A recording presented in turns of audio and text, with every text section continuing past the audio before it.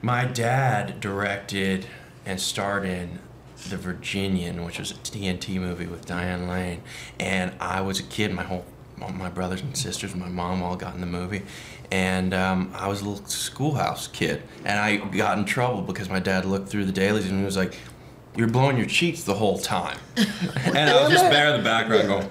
"Yeah!" and uh, so that was my first time on screen. Yeah. Nice.